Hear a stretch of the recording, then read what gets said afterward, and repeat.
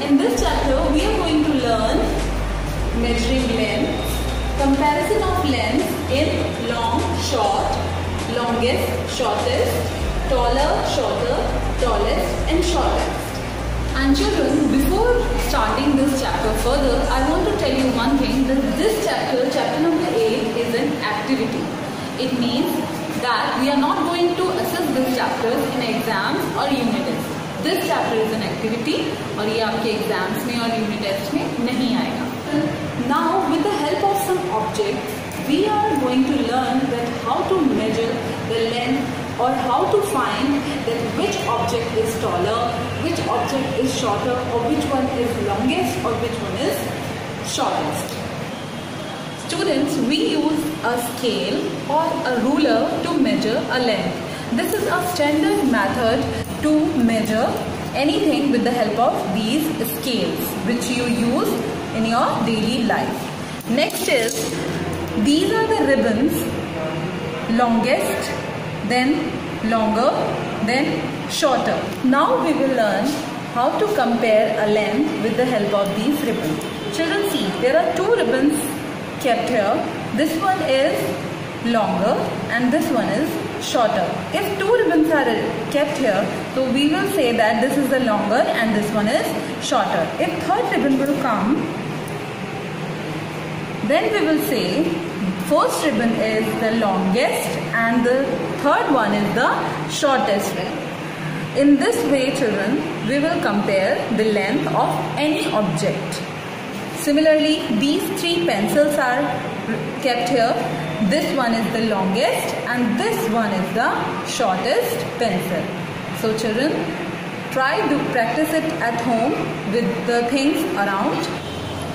Now students, we will learn the comparison with the help of these animals.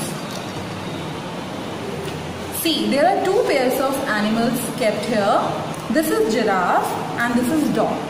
What you can see in this pair that giraffe is the taller and dog is shorter.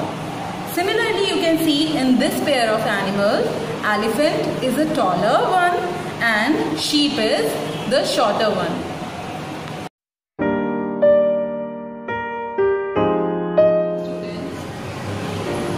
Good morning children. How are you all? Children, in our last maths class, we have learned the comparison of.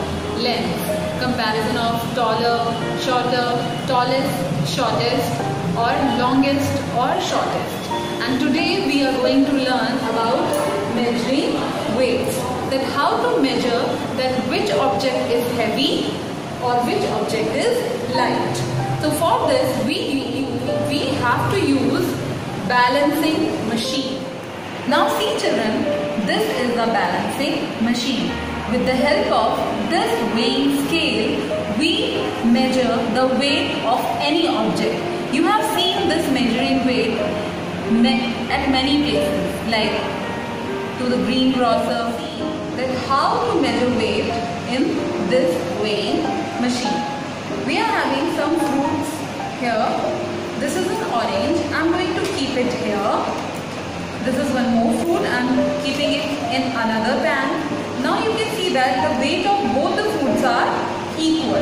Orange, the weight of orange is equal to the weight of kiwi. If I put one another vegetable in this pan,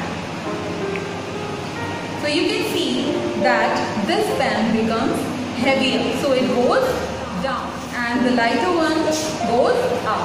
So in this way we have found that this pan is heavier and this one is lighter.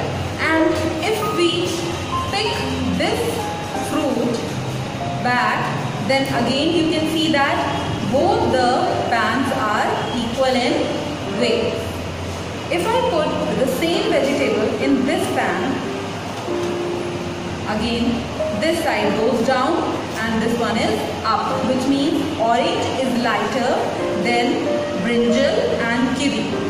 So children, this is the way we measure the weights with the help of this weighing scale.